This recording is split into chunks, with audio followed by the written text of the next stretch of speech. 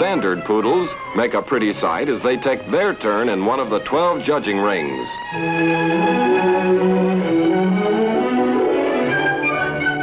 Judge Virgil Johnson studies them in motion. It's a great day for our newest state as the Alekai Kennels of Honolulu, Hawaii win with Tambarine de la Fontaine. Mr. and Mrs. Henry J. Kaiser accept the award. Wendell Sammet is the handler.